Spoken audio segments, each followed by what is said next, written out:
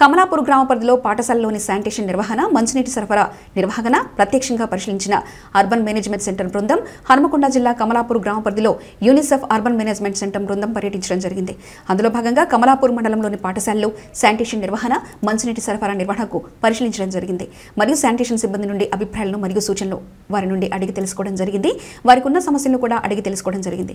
ఈ కార్యక్రమంలో UNICEF urban management centre బృందం UNICEF state coordinator G Venkatesham head water and sanitation urban management Arvind Singh project coordinator Shrimati Ramana MPDO CH Ravi APO N Ramesh మరియు తదితరులు పాల్గొన్నారు.